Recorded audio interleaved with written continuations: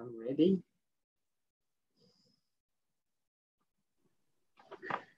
Hello, travelers. Welcome to Fulbright Week at Reach the World. For over 20 years, Reach the World has used virtual exchange to inspire youth to become curious, confident, and compassionate global citizens. This week, we are proud to celebrate our long-standing partnership with the Fulbright program. Fulbright travelers work tirelessly to foster mutual understanding between the people of the United States and other nations. Under normal circumstances, Fulbright travelers share their experiences abroad with K 12 students in the United States through Reach the World virtual exchanges and school visits. But this week, we're bringing their stories and the world into your homes. You can find a complete listing of Fulbright Week live stream events and much more at athome.reachtheworld.org excuse me, today I'm very happy to welcome Fulbright Foreign Language Teaching Assistant Sofyan Essarraoui. Sofyan is from Zagora, Morocco, and he's currently, actually just finished, um, teaching Arabic at Bennett College in Greensboro, North Carolina. In addition to being a Fulbright scholar, Sofyan is an accredited tour guide with the Moroccan Ministry of Tourism. So we are exploring Moroccan culture today with an expert. To our live stream viewers, please use the YouTube chat bar to let us know you're here today and also to share any questions you have for Sofyan along the way. Just put them in the chat bar and we'll be sure to pass them along to Sofyan after he's finished with his presentation. And we'll get to as many questions as we can in the next 30 minutes. But without further delay, I want to welcome to Reach the World, Sofyan. Hey, Sofyan. Hello, Tim. How are you? Great. Glad to have you today. Uh, uh, thanks for having me. Thanks for having me. Um, so uh, I think should I introduce myself or just go straight? All right, so uh, as Tim mentioned, uh, uh, I am Sofyan Essarraoui. I am originally from Morocco and uh, I was born uh, in a tiny village in, in Zagora city. Um, and uh, I finished my master's degree in, from Cadi Ayyad University in Morocco, exactly in Marrakesh. And then um, I am a Fulbright foreign language teaching assistant. I teach Arabic at Bennett College, as Jim mentioned.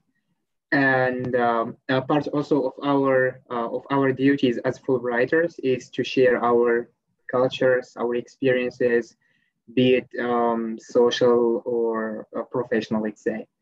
And um, uh, beside this, uh, I am a tour guide. Uh, I am an accredited tour guide actually from the Ministry of Tourism of Morocco. And um, I've been working like uh, for this uh, for the last two years, uh, three, approximately three years now, but let's say two years.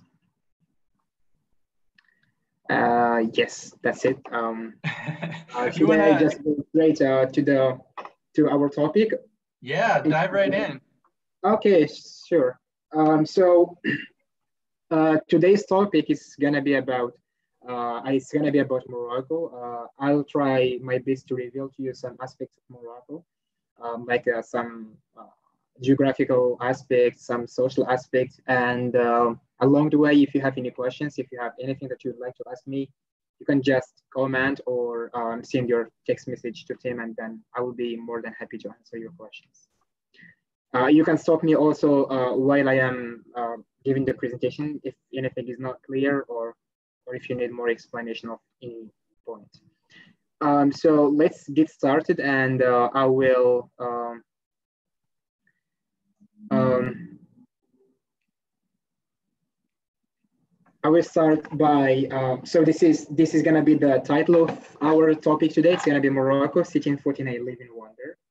Um, and um, uh, so uh, before we start to talk about um, the various aspects Morocco can offer or Morocco has, um, it's better to uh, clarify that, that Morocco is, is an African country, uh, which means that it's in the African continent.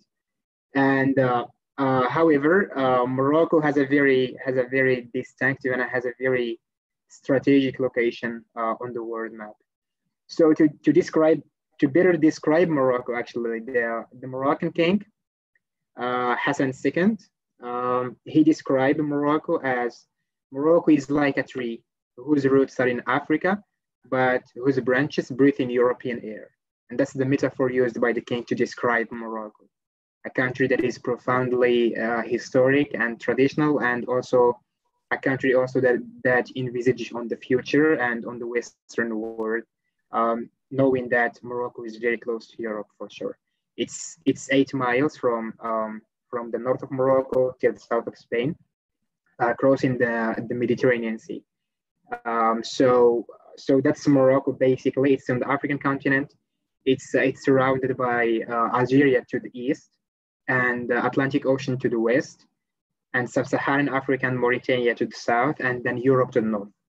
Uh, so yes, that's um, that's uh, that's Morocco on the world map, but this is the Moroccan map, and um, so Morocco, like um, anyone who would look at this map, they would notice Morocco has two, uh, let's say, has two like doors on the on the on the one on the Pacific Ocean and one on the Mediterranean Sea. And this also and this also has for a long time made of Morocco a place or a hub of uh, of many dynasties that are crossing Morocco towards Europe or towards sub-Saharan Africa. And still till now, actually, Morocco is uh, is a very um, is a very important passage for people crossing from sub-Saharan Africa or from Africa to Europe and vice versa, which means that uh, being, being in Morocco, you would not fail to see how much uh, rich is it, it is in terms of cultures and in terms also of geography and in terms also of demography. So you would see a lot of people interacting in Morocco.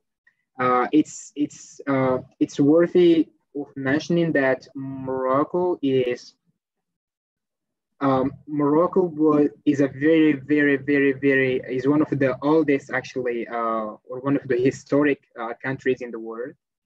Uh, the first Moroccan state was created in 788 by, by, by the Idrisid dynasty or by what is called uh, Idris, al, Idris the first or Idris al-Awwal. Um, and then after that, many dynasties also um, um, found found Morocco a very fertile ground to um, to govern and to and to lead.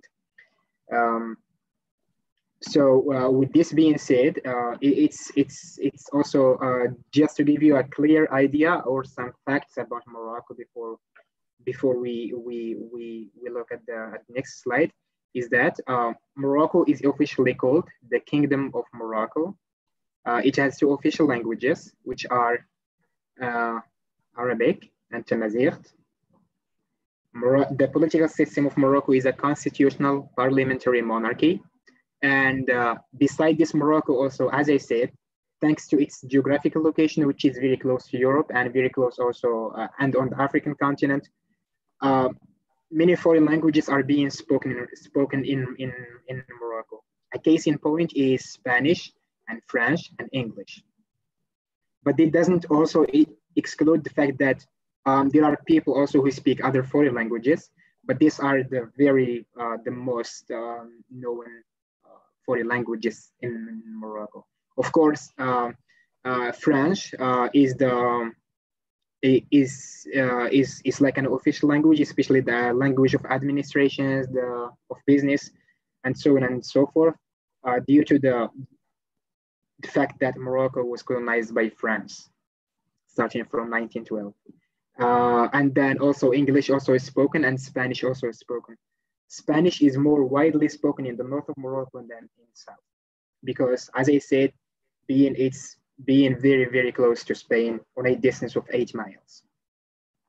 Uh, the the currency of Morocco is the Moroccan dirhams, or it's abbreviated as MAD, which which stands for Moroccan dirhams and space is um, space as you as you can see is um, 710 710 850 square kilometers. That's the distance of morocco from the very north of morocco uh, a city called tangier to, to the very south of morocco to a city called Lagouira so from the north to the south that that's the distance morocco lies um, so um, as I said already, that Morocco is a very, very, very uh, it has a very, very uh, rich geography. Um, maybe uh, some of the facts that people actually do not know about Morocco is that Morocco is uh, you can you can do as or you can see many geographical um, um, things in Morocco. You can, for example, experience the snow. You can experience the desert. You can experience the the sea or the ocean, and and uh, and and and also the forests. So um, this is this is also one of the things about Morocco. Um, it should be noted that Morocco is, or let's say, the first people to settle in Morocco uh, are called the Amazigh, or as they are referred to, Berber, even though that's not a term that is uh, that is used, thanks to, it, to its negative connotations. So it's substituted with the word Amazigh, which means, uh, so Amazighs are the first inhabitants of Morocco. And, and actually, be, even before the first Moroccan state was created in 788, people who were, who were living in Morocco at that time were the Amazigh or the Berbers. Uh, uh, those are the first people to settle in Morocco. And then with the uh, with spread of Islam and uh, with Morocco also being uh, being a passage of trade uh, for like for, for, all the always have been a passage of trade from Africa to Europe or from Europe to Africa. So many people settled in Morocco after that. So nowadays, if you go to Morocco, you will see um, uh, you will see a very rich uh, demography in Morocco. You will find white people, uh, very white people, and you will find also black people which have African heritage, and then you will find also Arabs which mostly came from the Mediterranean, uh, from the Mediterranean countries, from Mecca or from Saudi Arabia, let's say, and from Qatar and from other surrounding countries.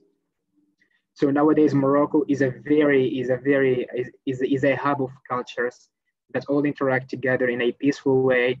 And uh, thankfully, Morocco, uh, the, the the different groups of Morocco, they share a lot more than they more than there are things that set them apart. So that's that's that's also one of the one of the things uh, about about Morocco. Uh, uh, it's here, um, there are two words that I would like to highlight here, which are the kasbahs and the souks. And these are the two terms that we will come to in, in, in the next slides. But before that, I would just like to present Morocco to you in pictures so you have a clear idea of what I'm talking about. So when we talk about Morocco, we talk about different geography, we talk about different cultures, and we talk about different groups of people. Uh, in terms of geography, this is uh, geography you can see here that uh, Morocco, you can find the waterfalls, which are mostly found in the Atlas Mountains. And uh, speaking of Atlas Mountains, here we're speaking of three kinds of Atlas Mountains. High Atlas Mountains, Anti-Atlas Mountains, and Middle Atlas Mountains. And each of these, they have different characteristics. Uh, and then the desert, which which I am from originally. I am from southeast of Morocco, and that's a desert area, or that's like a, the desert, basically and then um, the Mediterranean Sea, which is also here. And uh, one of the most important cities in Morocco is Tangier. And Tangier actually, the first Moroccan state actually, or the, the Idris the, uh, Idris the first, who is the founder of the first Moroccan state, he also settled first in Tangier when he first arrived to Morocco. So that that says that Tangier is one of the most important cities in Morocco, especially in the northern Morocco. Uh, we, we have also here on, on, on the left uh, two pictures. You can see there, that's a green space and uh, traditional houses. And those are what we call uh, qsor. qsor uh, I, will, I, will, I, will, I will explain the term later. And then we have the oasis. The oasis is mostly found in southeast of Morocco and uh, the oasis is made up from the palm trees or the palm giving trees. So the trees that give dates. Uh, and it is actually considered, um, the southeast of Morocco, of course, it's actually considered um, the exporter of dates to the rest of Morocco, given the fact that it contains the biggest oasis. Hey, Sofyan, let me interrupt for just a minute if I could. Um, I, we have a lot of students who are joining us today, mostly on the live stream, and I want to make sure that they remember that they can put any questions they have for you in the live stream chat bar. Please do that. Um, we see your questions pop up and we'll pass them along to Sofyan. Sofyan, we're about halfway through. So you've got about five, five, ten more minutes before we take some questions. All right. Um, so, um, so talking about Morocco, um, we always talk about um, about three different parts, let's say, or three different uh, yeah parts. We talk about the north of Morocco, and we talk about the middle of Morocco, which is mostly the Atlas Mountains, and then we talk about south of Morocco with its two dimensions, southeast and southwest. So um, um, this picture summarizes uh, what we find in Morocco. So um, the north of Morocco, for example, it's actually uh, a very, um, you cannot, uh, there is a lot of similarities between the north of Morocco and the south of Spain, uh, specifically south of, of, Spain, especially Sevilla or, or, or, what we, or what's called in, in Spanish, Sevilla. So um, there is a lot of resemblance between the north of Morocco and this part.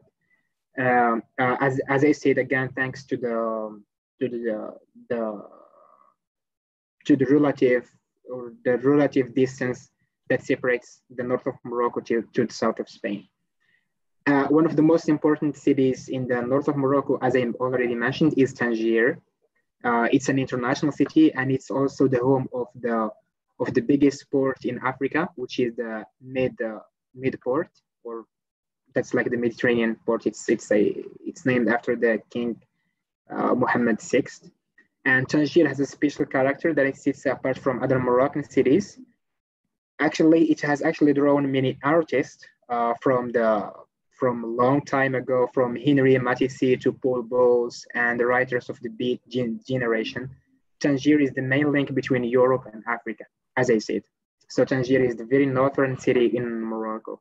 And uh, being actually in Tangier, especially at night, uh, if you are in a high area, you can see the lights of Spain uh, from a distance, or, or, or Spanish Marine to be more, uh, more specific. Um, this is also one of the Moroccan cities that is very, very, um, it's very unique and it's very uh, uh, famous in Morocco. It's a small city, but it's yet it's a very important one.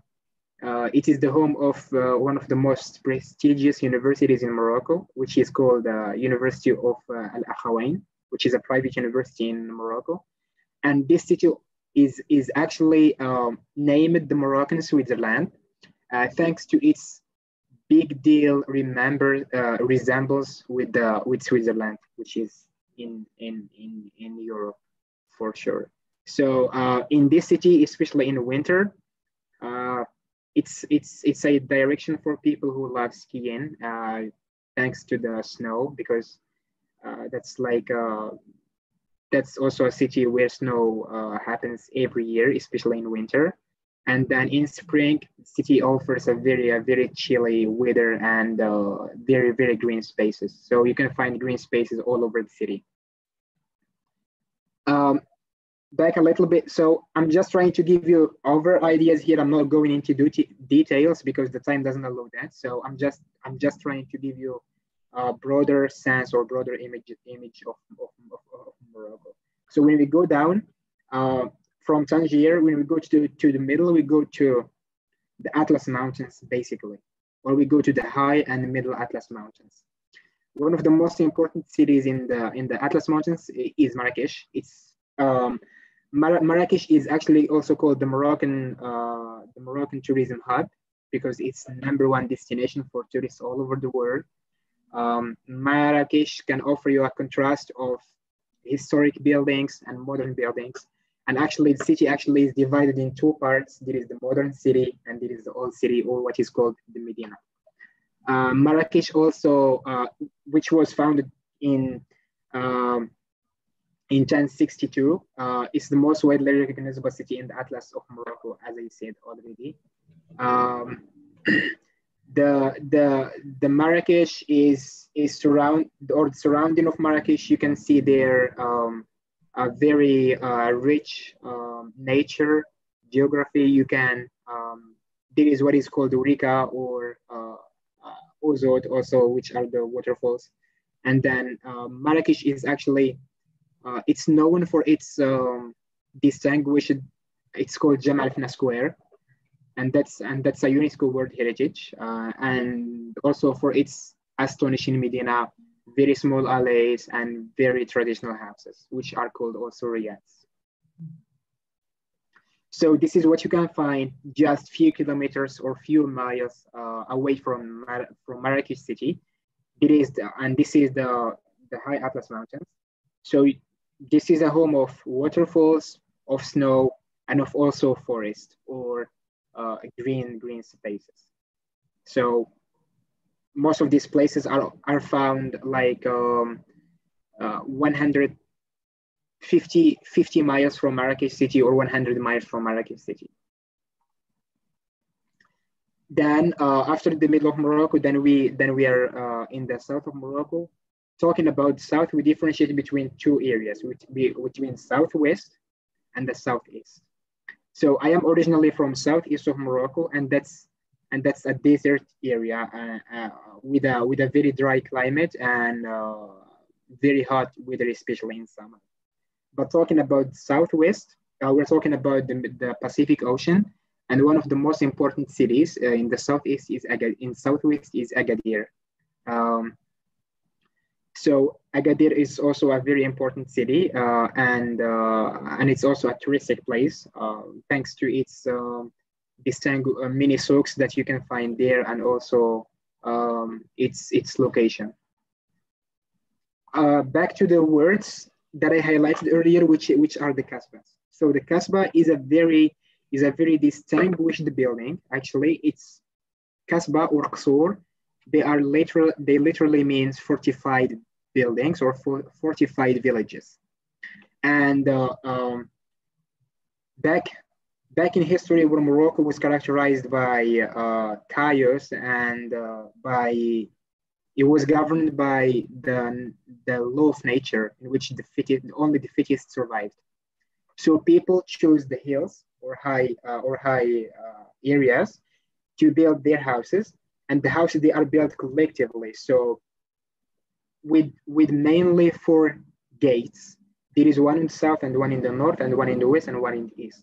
So, uh, uh, so people build this so they can be protected from wild animals and from nomadic tribes and from other villages they, that they might attack them uh, at that time.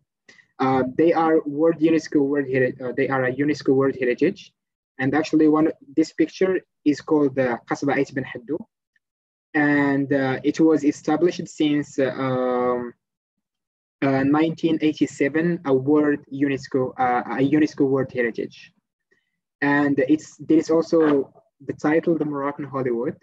So uh, this is also the home of one of the biggest uh, the biggest studio or cinematic studio in Africa and in Morocco. Um, it attracts many international company uh, film production companies, and many films actually were shot in this area. Its city is called Ouarzazate to be specific. Um, like The Gladiator, uh, Prison Break, uh, and many other uh, movies are actually were actually shot in this in this specific uh, place. So, and talking about the also the southeast of Morocco, it's the biggest oasis as this picture highlights.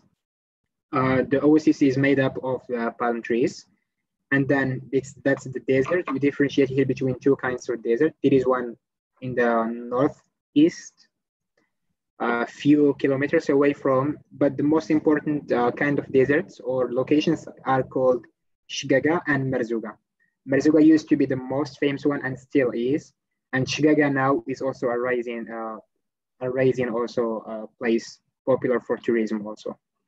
Um, so I hope that I covered most of uh, these uh, parts. Uh, you can you can email me uh, in my personal email, or you can check my YouTube channel, Soufiane Serraoui. Uh, you can find videos there talking about Morocco in detail. So, yeah, I hope that I did that. So, if you have any questions yeah, or wonderful. So Thank you, Tim. Thank, Thank you so much. Um, if you want to come out of screen share, I can uh, pass along some of the questions that are pouring in on the, the live stream and we can get to as many as we uh, as we can. Before we get started, can you tell us what the the red flag is on the the wall behind you?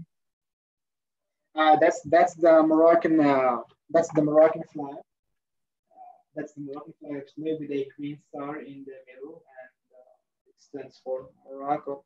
That's the Moroccan flag. Awesome. Yeah. Um, okay. Let's get right into questions.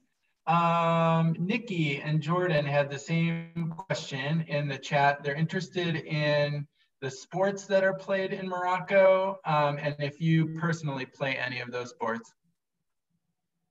Sports? Yes. Yes. Um, well, one of the most famous sports activity in Morocco is soccer. That's everywhere, basically. It's soccer. And then there are also other sports. Uh, well, basketball is also played in Morocco, but but it's not that as famous as soccer, let's say. And uh, and there is also um, in the south. That's where I am from. Like we have an activity that people now are doing, which is sandboarding, and I have actually pictures illustrating mm-hmm. that. Uh, it's it's it's called sandboarding. Uh, we do like boarding on sand. um, so uh, and there is also like uh, swimming, uh, uh given the fact that in, in Morocco we have the Pacific and the Atlantic Ocean. So especially in summer, like you find the, the ocean or the beaches, like they are totally full of people swimming. So that's, that's also a sport activity, I say that, that is very famous in Morocco. Okay, good questions. Let's keep the questions coming in the live chat. These are great. Uh, Greg would like to know what are some of your favorite Moroccan dishes or foods? Oh yes. Um, well, I can actually, I can basically be telling you uh, for the next one hour. no, but um, like Morocco actually is very, uh, the Moroccan cuisine is very rich and, and it's a widely known uh, aspect of Morocco also. Um, but to cite some examples, uh, we have tagines, and we have also Moroccan couscous, and we have also uh, Moroccan pastela. So it's like pastela. It's uh, it's like a dish made from seafood and uh, chicken or fish. So depending on the taste or depending on your uh, on your choice. But these are some of the most important uh, dishes in Morocco. Talking of food. Okay, that sounds delicious. Yeah, I believe you. You could talk about that for an hour. Um, Greg would like to know, I'm sorry, Jordan wants to know um, if you can sort of highlight any special events or any special traditions that come to the top of your mind that are very unique to Morocco. Yes. Um, so here, uh, uh, I, I, would like to um, like to say to sip to divide them in two parts. Let's say. So there is um, talking of music. Uh, so there are many festivals, like international festival actually, that are uh, held in Morocco every year. Um, there is a jazz music or the Gnawa music. Uh, Gnawa is like a, it's like a blues or it's actually like an African heritage, and uh, that's also it also attracts many people from every single country in the world. Uh, it is held each year in um, in Essaouira city, which is on the coast. And there, there is there is also uh, like a, uh, um, uh, it's a festival of nomads, like festival of nomad, and that's actually in my city, in in Zagora city, in a village called uh, M'Hamid El Ghizlane, which is the which is a, like a, a small town on the borders with Algeria. Like that's like uh, the last um, uh, town in in Zagora, and uh, and uh, that festival also attracts also many people, especially uh, be, like spiritual people, people who like uh, to be in nature, and people who spend uh, like uh, like people who are meditating, like let's say like yoga people or meditation and stuff. And talking of of um, again of sports, like there there are surfing surfing competition in Morocco, in two cities, in in in Taghazout, which is also on the coast, and in Essaouira, which is also on the coast. And um, and there are also like uh, many other many other events. Uh, there is also a festival of roses. It's in southeast of Morocco, and it's an international uh, uh like event celebrating the the the oasis and uh, specifically the roses in the southeast of Morocco. All right, wow, some great examples there. Um, Jordan would like to know what would normally be eaten for breakfast in Morocco, if you could just generalize a, a breakfast food. Um, we're talking of food here, we I need to draw like a, a, comparison between different areas because in Morocco, every area it has like its own specialty and its own characteristics.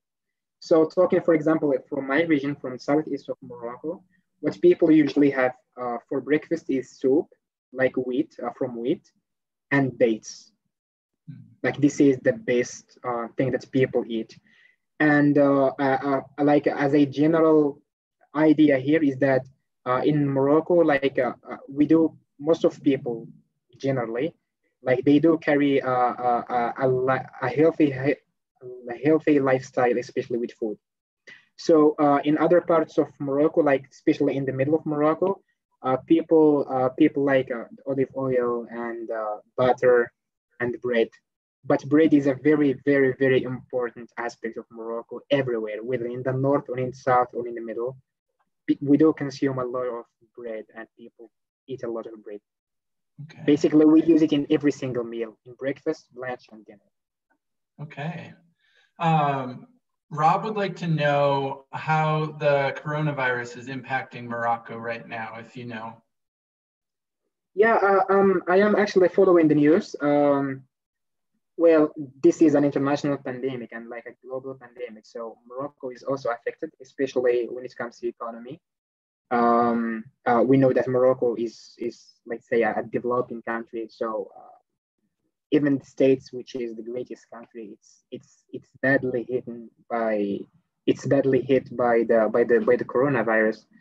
But in Morocco, one of the one of the best thing that the Moroccan government actually did is that they anticipated the the spread of the coronavirus way a long way before it actually happened. So uh, when the corona was first uh, uh, when it when it first hit Europe, at that time, there were many tourists in Morocco going and coming to Morocco. So Morocco had to shut down the, the borders uh, in an attempt to curb or to stop the spread of the coronavirus. And then also it stopped all the like the sport events, all the gathering of people, more than 10 people is strictly prohibited. Um, so, but now we have almost 7,000 cases in Morocco, which is not that bad compared to other countries but still, uh, like Morocco now made a three more week extension till uh, till actually June, till June, late June. So in an attempt, as I said, to curb the spread of the coronavirus. Okay. Um, we have a bunch of students think that sandboarding sounds really cool, and I think they'd like to travel to your home region in southeastern Morocco to try it sometime. I uh, can, if you, do, uh, I can, I can uh, just just for for a quick uh, show some pictures of the of that um, yeah i think that would be great. It's it's um kind of a fascinating sport. Um, while you're looking for those i would love to ask you a quick question. Um, one of one of the students in the chat um, knowing that you're from southeastern morocco is wondering where you are now and what you're doing where you are where I am right now. Yeah, why? What what brought you to the United States? Um, I've always actually wanted to uh, experience uh, like um, to experience to have more experiences, especially on an international level. Um, back in 2017, um, I was granted an, an, Erasmus scholarship to Europe, and since then, uh, like it's like my appetite to travel more has been opened, and like um, so um, so I came here uh, because basically I wanted uh, like I wanted to also to take to experience the American lifestyle, the American culture, and the American like educational system. And that's why I applied actually to Fulbright because I wanted to have this experience. So right now I am in North Carolina. I, I teach Arabic uh, at Bennett College uh, as a Fulbrighter or as for the language teaching assistant. All right. Great. Do you have, uh, did you, were you able to find some sandboarding photos? Yeah, I, I thought that, yes. Is it visible? Yeah, I can see it. Do you use a snowboard? Like the same yes, board? Yes, that's me. Yeah, yeah, that's me actually in the picture. and that's that, that's also something that that we do uh, like uh, as a fun thing. That looks like a ton of fun. Um, you know, we're, we're right up against the end of our, our time here today, and we had such great questions online. Wow, fantastic job, students. Thank you so much for your great questions for Sofyan. Um, Sofyan, I want to ask you before we go, we ask um, all of our participants the same question, and that is once you are um, sort of freed from COVID-19, stuck in place, and, and I don't know where you're you're off to after your your Fulbright ends or when you return to Morocco, but what would you like your next adventure to be? Well, actually, I should have actually left the States um, like 15 days, uh, yeah, no, 10 days ago, uh, because my visa was due May the 10th but due to the COVID-19, so the borders are, are, are closed and, uh, and uh, even the Moroccan airspace also is closed. So um, Fulbright extended my stay here two more months, but with a possibility to leave uh, as soon as the borders open. Uh, my next uh, my next step is, well, we all know that the tourism sector, especially like, is one of the of the most affected sectors uh, by this COVID-19. So I was counting on tourism actually when I go back to Morocco because that's that's what I love doing actually. I love to meet new people, experience different cultures, and to show also people the Moroccan culture. But for now, I don't think uh, I will do tourism, so I'm still trying to figure what I will do after, after the COVID-19. All right, fair enough. Well, we can tell that you love your country and you love your culture and you love talking about. So maybe we'll schedule a four-hour call sometime in the future so you can actually anytime, anytime. show us all the, all the things you know. I could tell you were cutting it, it short today, but we really appreciate the yes, overview. Yes, it was. I, I, was I was actually um, the, uh, uh, due to the time limit, so uh, I made it very very concise, so I can just cover uh, like some of the things about Morocco, but yeah. let's talk about it in details.